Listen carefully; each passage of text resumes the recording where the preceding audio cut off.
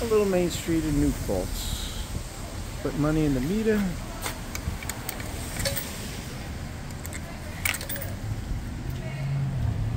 Fifty-seven minutes. We're doing good.